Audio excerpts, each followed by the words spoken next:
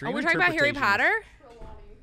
What would be your favorite? I'm almost done with the Hogwarts what- Legacy game. What would be the class? What would be the class that you would be like most excited to go to at Hogwarts? Oh, what class? Yeah, what class? Hmm, that's a good question. The sweatshirt smells. Probably charms. Charms. Yeah. Who wouldn't want to learn magic spells? So, what would your favorite? What class would you want to most go to? Um, I don't know enough about Hogwarts. Do you, do you have different? Uh, what are the different options? Okay, well, Jacob, um, as Brandon's best friend, What are the different options you for need classes to at Hogwarts? you need Yeah. to sit down with him. I mean, I've only I, I've turn watched on them your all. turn on your the HBO Yeah. and educate this Is man anyone on else excited Harry that they're going to release like a a new one? no the like series? Yeah, Seven seven years, ten episodes a year. yeah. I think it's going to be interesting. Let's do this. I, I personally, I would have loved if they went back to Lily. That's James, what I Yeah, Snape, started Yeah. from the beginning. I want Wow. the Marauders. Wow. That's all I want. Well, yeah, Yeah. literally, that would have been that would have been key. But But we'll take it. I guess I'll take it. I have no, I I have no idea what's going on right now.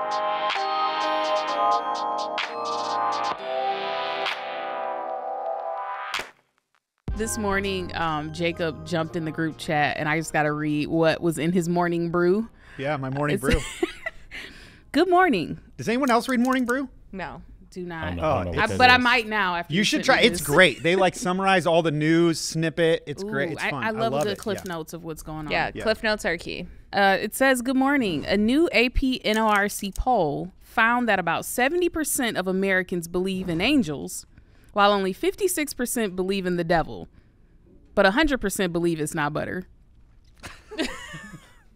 So okay, so so we're starting. So this, that's so the this is intro. throwing me off. This is throwing me Oh off. yeah. This is throwing me off so That- much. that- I'm still I'm still. That would be the intro. That's I'm, the intro. I, I'm, I'm still on uh, just trying to realize how I've never been I've never felt as ignorant on a subject as I did when you guys talked about uh, Harry Potter for the last 20 minutes. I don't know any. I've never seen Harry Potter. Never Yeah. read the books. Okay, so we're kindred spirits on that. All right, Yes. all right. So I will I will pick up. I- I'll pick up. but this this Well, is uh, I got to get used to. You gotta fin- Oh, finish she- whatever you were gonna say with the morning brew. I was just gonna say, um, let's talk about angels and demons.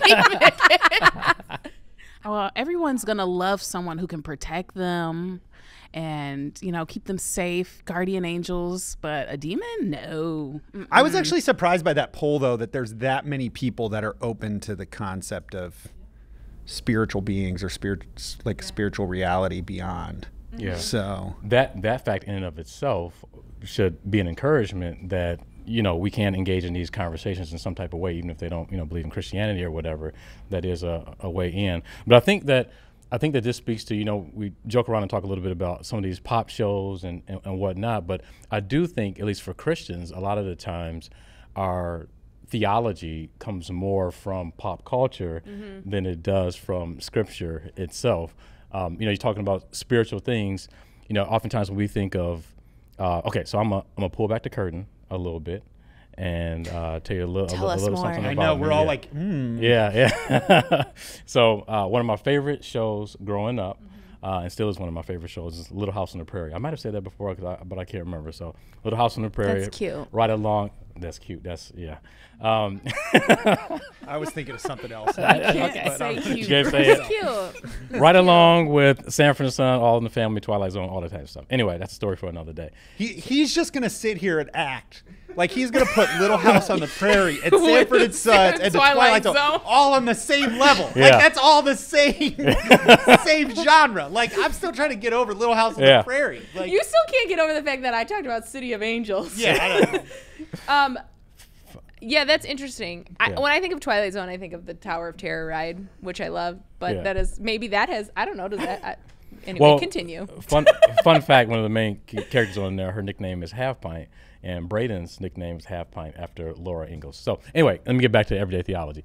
Did so, you read the books too? No, no, Chantel did, but I do have the entire DVD collection. So are there angels and demons in Little House on the Prairie? Is that the curtain you're pulling back, like that you're gonna tell us? Not that, but uh, Michael Landon. So he was one, probably the most well-known uh, actor on the show. He also had a show in the '90s called Highway to Heaven. And a lot of times, see, I- now. I'm, I'm making the bridge. You know. I'm, I'm bringing it. I'm bringing. You it guys over. realize between the two of you, anybody Yeah. listening to this under the age of 20 has already turned us off. Oh no, no, no! Here, let me help you. idea Let me what's help. Let me help right our younger audience. Um, Little House on the Prairie starred um, Real Housewives of Beverly Hills, Kyle Richards. You're welcome. okay. Yeah, I, I didn't get that reference, but hopefully brought 'em all someone- back. We We, brought brought 'em them all all back. back. All right, good, good. Yep. All right, good. So anyway, so there's a show. So there, so he was in a show called uh, Highway to Heaven, and but this show um, dealt with him being like a guardian angel of sorts and being on heaven, uh, excuse me, uh, from heaven on earth, and having to do a bunch of good good deeds to earn his wings. Mm-hmm. And so I, I think a lot of times when we talk about the study of angels, angelolo- angelology, and whatnot. Um, Mm. Is there that- one for demons too? Demonology. I mean, I don't oh, think wow, it's. those are yeah. pretty good I, w- I wish it was. right. I wish it was a little more creative than that, but yeah. Like we have Just so- soteriology, and then was like, man, Yeah. let's just add ology to the end of demon. Yeah. So when, when we when we when we learn more about Ravae, it's like Ravae Reveology, right? That's scary. Yeah. Everyday we're biology. So, but yeah. So a lot a lot of a lot of times pop culture. So when we think about angels, I can't tell you how many conversations I've been in where people talk about like guardian angels. Right. You know, we pray about well, will God send a, an angel to, to guard over me and, and stuff like that. And we talk we have these types of conversations. And then even when we talk about things like hell, you know, it often more parallels something like Dante's Inferno, the 14th, 14th century uh, poem in which Dante, uh, part of it is, is talking about Dante and his journey through hell.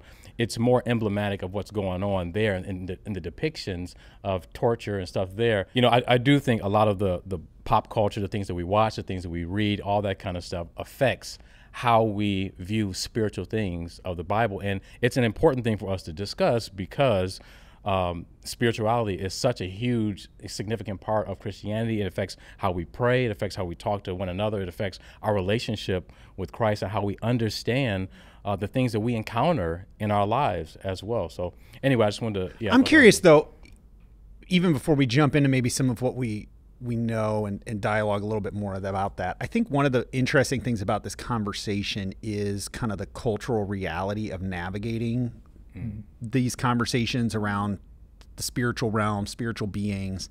It seems like we live in this culture that is both spiritual but also highly naturalistic at the same time. It's like it's like the value of naturalism and materialism is so high in our culture that almost to talk about the spiritual realm or talk about angels or demons, you got a whole swath of people that's like, okay, you're like cuckoo for cocoa puffs and then but on the flip side there seems to be this like spiritual you know curiosity that people seem to have with spiritual things spiritual practices. Like so how do we how do we navigate conversations in this kind of you know as as a christian like we don't want to seem crazy but at the same time like so brandon i know you've dialogued a lot in in situations and places where you try to help people understand a supernatural worldview in relation to kind of the naturalistic worldview that we have like how do you approach Yeah.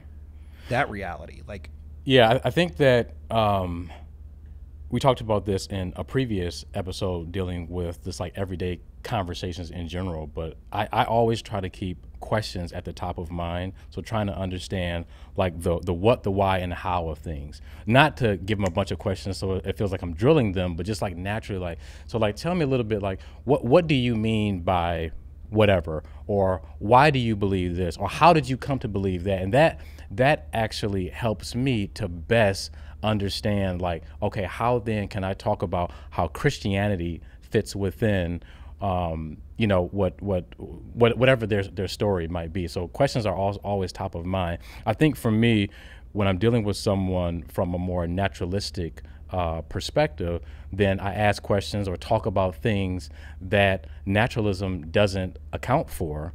Um, like, I mean, like simple like virtues, like love and justice or uh, morality. Everyone has some sense of morality, but naturalism doesn't account for an objective moral, you know, framework. A subjective one, sure, but we all know that subjective morality can lead to all sorts of things depending upon who's in power at the time.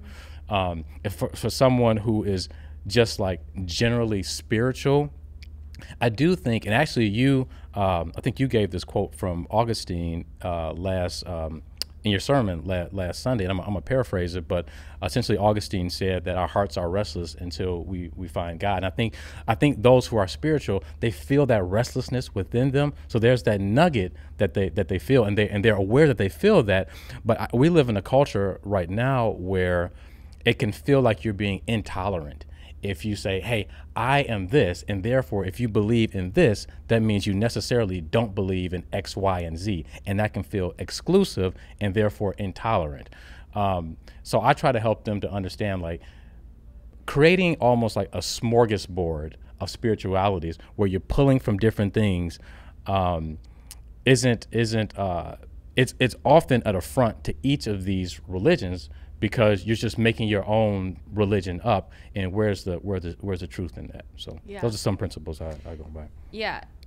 That was really deep because when I think of angels and demons, like in the Bible, I'm over here thinking about like how angels in the Bible look like creepy Furbies. Like I, they oh, have yeah. like seven eyes.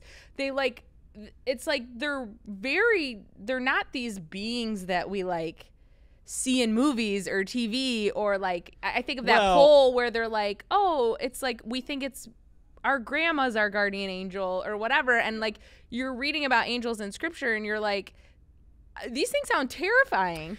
Well, I think that I think what that actually brings up an interesting point, Ravae, because I think one of the things we need to to always not always, but I think we need to be careful of is I think inherent in the way many people perceive the reality of the spiritual realm, angels, demons, is we we've blanketed a lot of things together that uh, that Scripture doesn't quite do in that reality. For instance, we seem to have a tendency to refer to any spiritual entity on the positive side as things as angels, and any spiritual entity on the negative side as demons. But that's not entirely the case. So when we see pictures, for instance, uh, of spiritual beings like the seraphim in Isaiah 6, where they have two wings that cover their face, two wings that cover their like they're never actually referred to as angels. Mm-hmm. Angels are specifically messengers from God, and oftentimes when angels are encountered in Scripture, they don't have wings, mm-hmm. which is which is a common false idea. They're usually very almost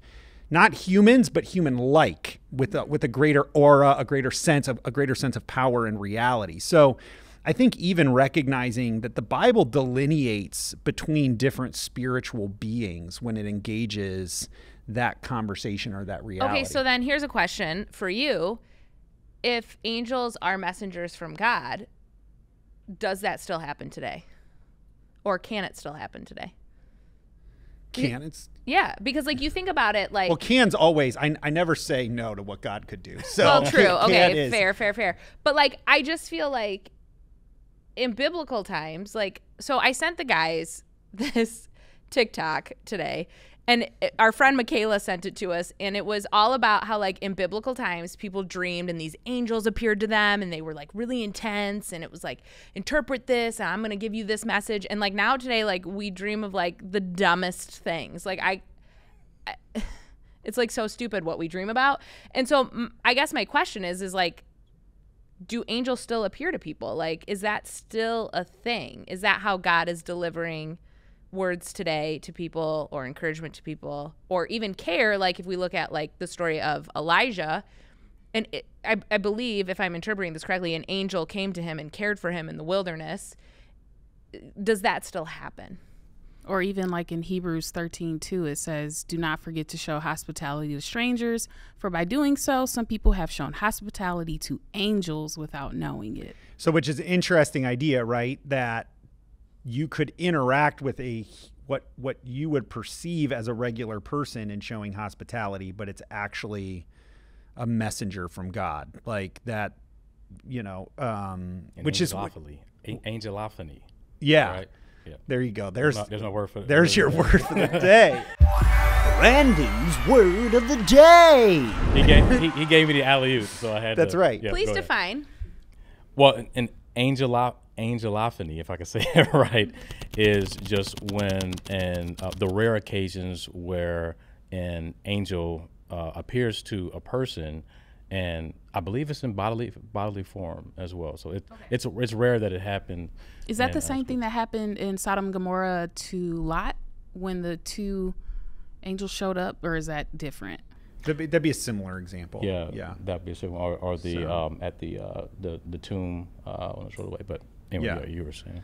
No, so I, I mean, I think one, I think it's probably important for us to recognize nowhere in Scripture do we see angels as as messengers being the regular way in which God communicates to His people. They're always supernatural um, and kind of extraordinary circumstances. The primary way God communicates to His people is through the revelation of His Word. So whether that's Torah in the Old Testament, which is the foundation, um, or whether that's the full canon in what we have in the New Testament, um, God does speak to his people through the prophetic voice.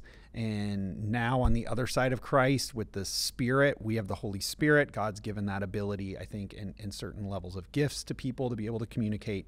Um, so, all that to say, I do think that there can be instances where angels still minister and still work, um, but it's not the regular primary way. And I think also recognizing that the potential for the demonic influence and for negative spiritual beings to influence, we always, the Bible always pushes us towards discernment. Right. And recognizing if we're claiming to have engaged a spiritual being or a spiritual reality, we need to be extremely discerning in terms of whether that is genuinely a messenger of God or whether that is um, is a false uh, or someone impersonating that reality. Um, Okay, think we need to okay, so what about- but all that to say that it wouldn't be yeah. regular. What about this though then? Um, and I can't remember. I always, I apologize. I always get Elijah and Elisha Elisha. confused. I think it was Elijah, but correct me please if I'm wrong. Wasn't there a moment where in Scripture he was with someone and like their eyes were open to like this spiritual warfare that was going on around them, the chariots and all of that. Like, so, so for me as a believer, when I read that or see that, I wonder is today in our time, like even in this room, is there a battle going on that we can't see between angels and demons? Like, is that happening right now? Well, I, I think in I think in general that we live. So uh, Dr. Craig Keener has a book called, or a two volume book called two. Yeah, two volume book set called uh, Miracles, and part of the point that he's making in this set is that hey, there are all these miracles that are happening all over the world that us living in the U.S. Uh, highly technological society, we've become more desensitized to spiritual things because of our um, of our prioritizing technology and, and maybe modernity and some some other things like that.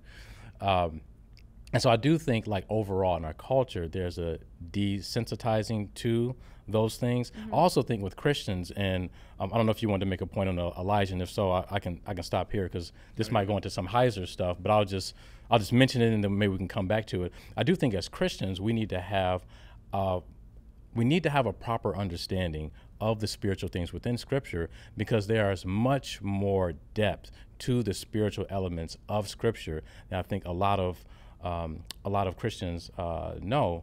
And uh, yeah, maybe we can talk a little bit about the divine council and, and stuff like that. So I don't know how much I want to go down that realm, but, but Well, yeah, no, I, I think that's I think that's important, right? Yeah, So Yeah, so you bring up the idea from Elisha in in this reality of praying to have the eyes open to see these these spiritual forces that are at work. I think to Brandon's point, we we often live uh, obscured from really the biblical worldview, which includes this spiritual realm, right? God originally created and designed the world um, really to where heaven, which is God's realm, which we would call the spiritual realm, right? That that's how the idea is. God is spirit. Um, was meant to overlap with the physical, with earth. Um, because of sin, there's been a separation. That's not the case. but there really is a robust spiritual realm that scripture points towards Yeah. that overlaps with our reality and Mm-hmm. influences and interacts with the reality around us. And um, and I think that we've not done a good job at time. We we have to be careful because we've either received some of that imagery from pop culture, not from scripture, Yeah. Yeah. or we've minimized it so much that we we even like We don't recognize it. yeah, we don't recognize it. We don't have categories for it. We don't understand it. So when Paul says things like Ephesians, you know, well, our our battle isn't against flesh and blood, it's against power and principalities in the in the heavenly places. And even the what he's pointing to there in rulers and authorities, he, he's pointing to spiritual beings that seem to have influence on the rule of the world. We almost minimize that to a point to say like, well, he's just talking about, you know, and it's like Yeah. Well, no, he has a whole robust vision from what the Old Testament points towards that influences why he's saying that, but we, we've minimized that so much. Yeah, it's interesting because I'll never forget um, this one time I was in California. Um, and I, I was in LA, which, you know, LA has a couple cute parts and the rest is a dumpster fire.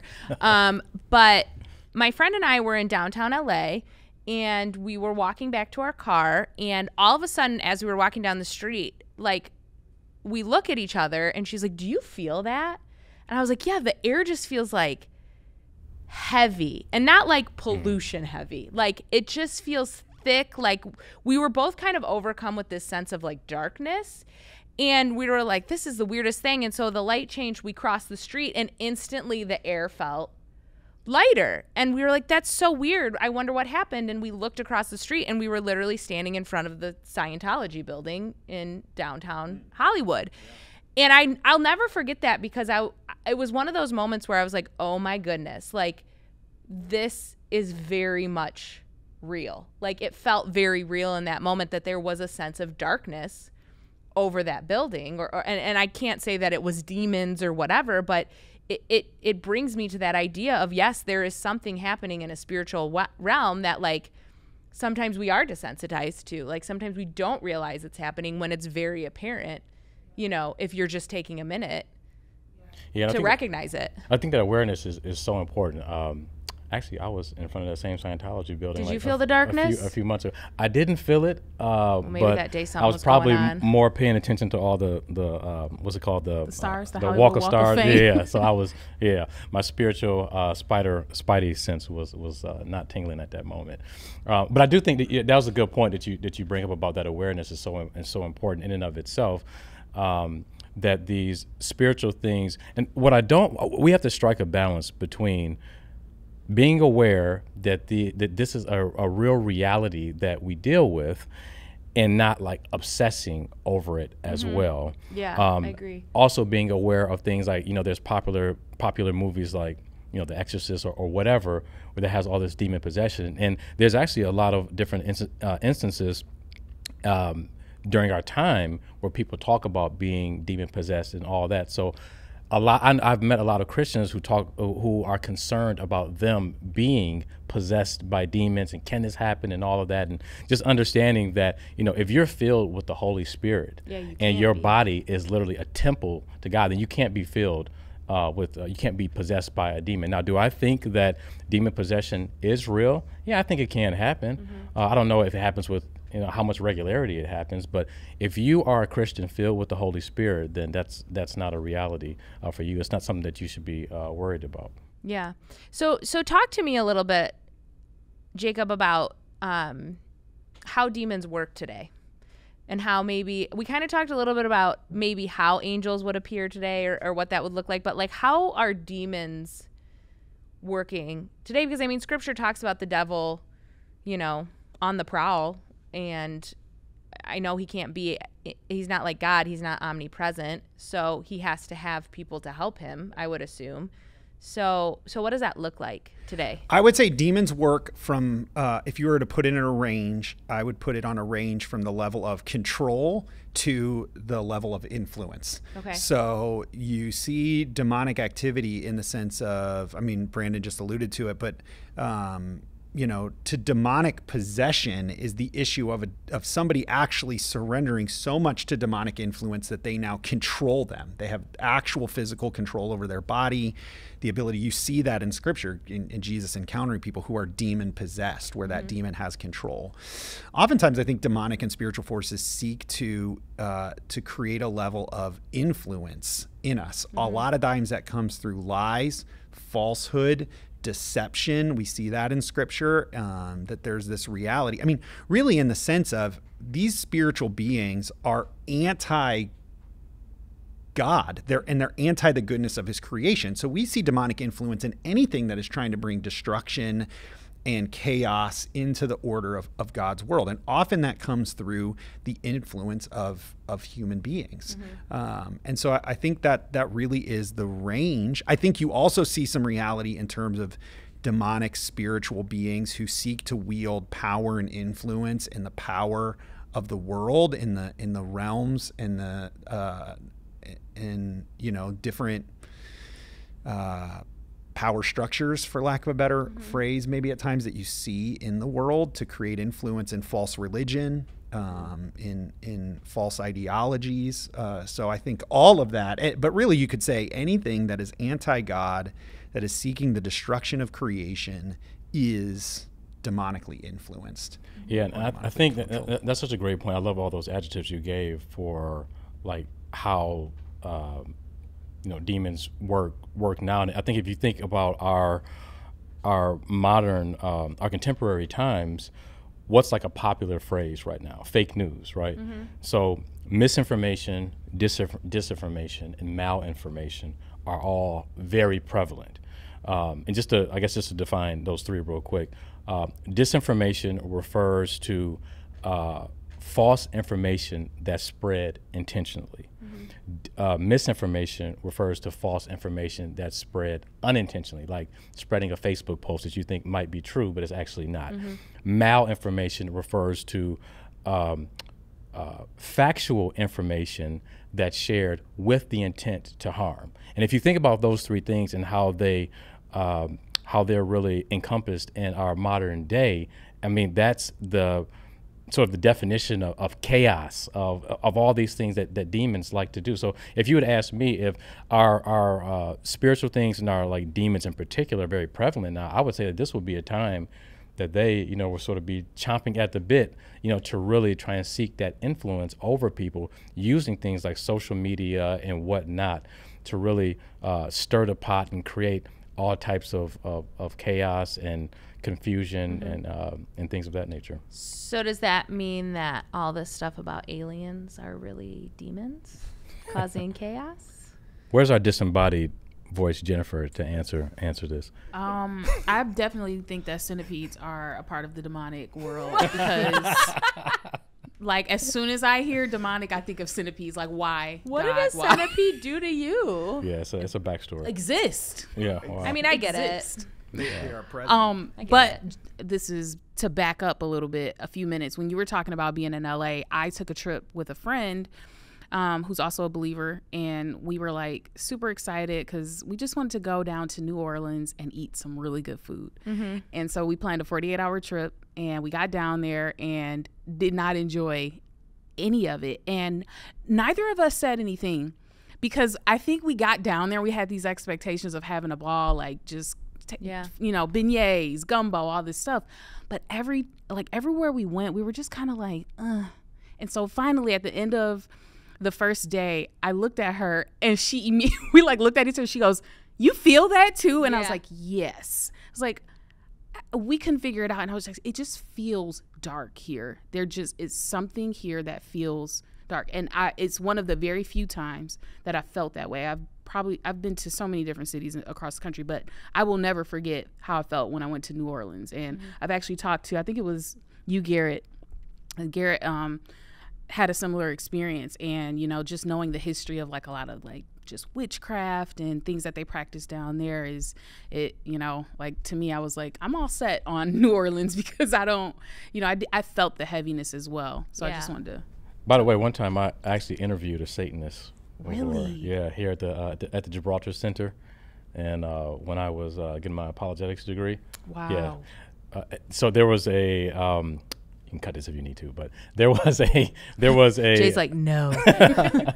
the people want to hear it. there was actually a battle between uh, two different Satanist groups here in Detroit. They wanted to erect a um, some type of building or whatever downtown. So there's the Satanists who believed that uh, who believed in Satan Yeah. as a uh, spiritual being.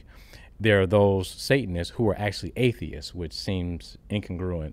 Um, and she was she was the former of those. So yeah, I had to interview her at the Gibraltar, Gibraltar Trade Center and learn all about her her background, actually how she grew up in Roman Catholicism, and she experienced some church hurt that you mentioned before. And I think that's what was the impetus for drive to drive her out of that and to look for something else. But she was a nice lady. She just uh, preferred the color black and skulls and that type of stuff. So So then that leads out of my alien question to is the Illuminati oh my goodness. You're just going and the into all goat that. ring and all of that selling your soul to the devil.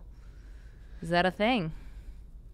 Or is the Because you all brushed over the alien thing? question. You all brushed over the alien Okay, I'm not. Br- I'm not brushing over the alien question. I, th- I think it's an interesting question, but here's my, here's my concerns: is that I think we often move and get distracted By the distraction? by the distraction. Like, yeah, well, I'm not saying, but I think like there there is a natural sense of like aliens, the Illuminati. There, there's some of that, which I always want to be careful of because it, it feels like at times then that we move the discussion of this. I'm not saying you're doing this, but I think we have to be careful of moving or sensing this discussion of spiritual things into the realm of kind of like Conspiracy. Conspiracy. conspiracy and Yeah. supernatural. Yeah. Right? And that's where a lot of people like almost want to put this category and it's almost like, ah, yeah, angels, demons, whatever, right? But apparently more people believe in it than we think.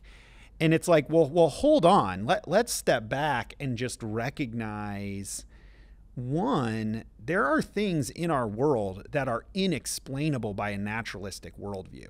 Yeah. So like this isn't conspiracy we're talking about, right? And as soon as you assume or or or believe in in the philosophical philosophical um, idea of God, which we would all attest to, at some point you you naturally assume a spiritual reality at that at that Yeah. point.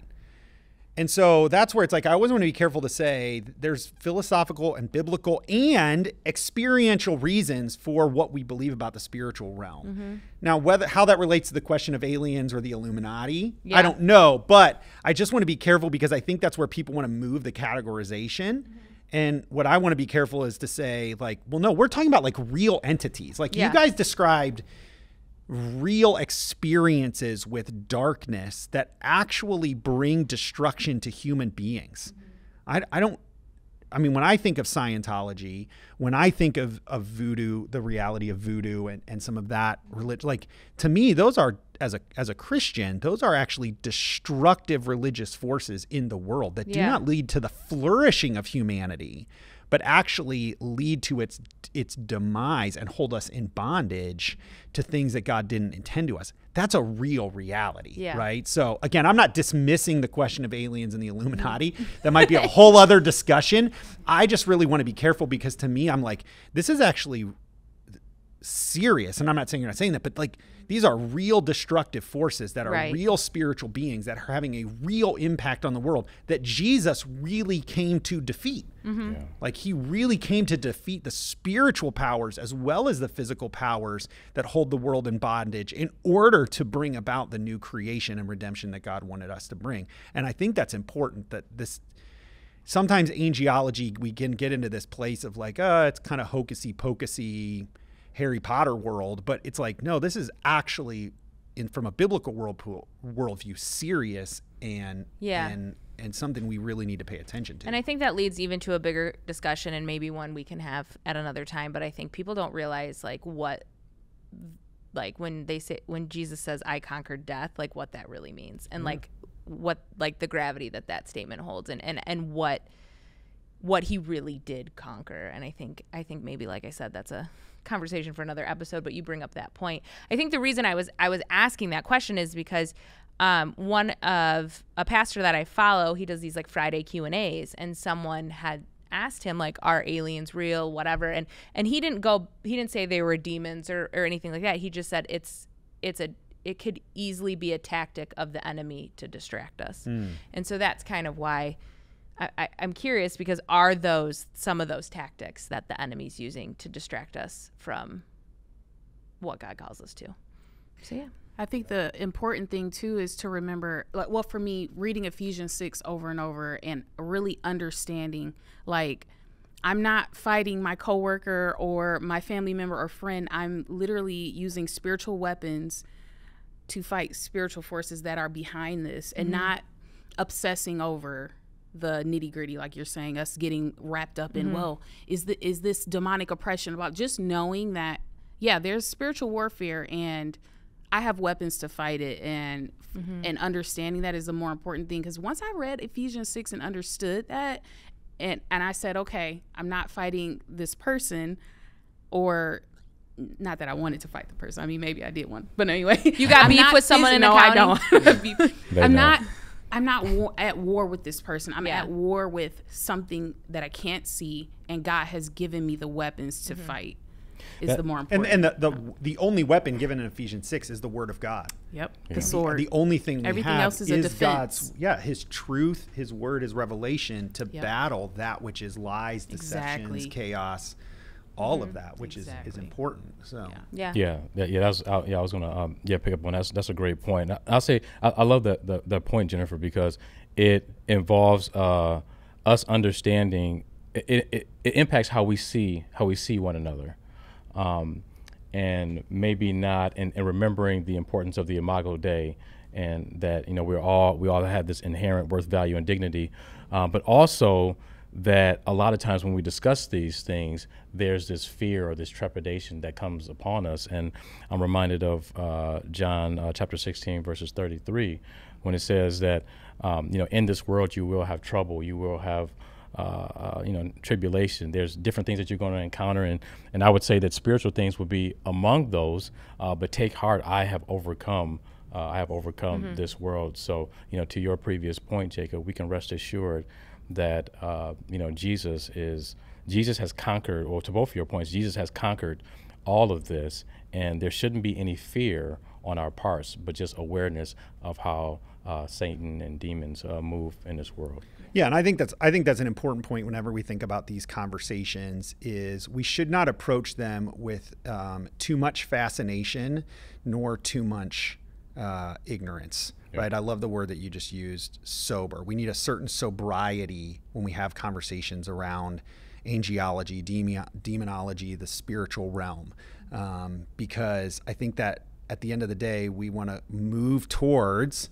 If I say at the end of the day, one more time, gosh, I Don't say worry, this we're phrase getting the shirt so made. many times. It drives me. I, it's driving myself crazy. Check out our I'm gonna merch come to store. church one day. Oh, We're right gonna there, get, right you know what I'm gonna do is I'm gonna get a like you know how they do swear jars. Well, we're, we're gonna do an at the end Yeah. of the day jar for you, and we'll just put drop quarters in there. Yeah. Yeah. So, but I think in these conversations, that's that's the place we want to aim. Yeah. Is is having a sober conversation because it is important, and uh, and so, well, guys, I think there's a, a lot you can talk about in this realm, and I'm sure we'll explore this more and more. Uh, Ravae still wants us to answer the question of aliens, which I have no interest in doing, but I think Brandon might have an opinion. We're gonna do it. So we're gonna we're gonna do We're it. gonna But do uh, but what do you guys think? What do you what are your thoughts on on this idea in the spiritual realm? We'd love to hear your comments and feedback. We'd love to know what questions you have and to continue this conversation even beyond this. So thanks for tuning in, and we'll catch you on the next episode of Everyday Theology.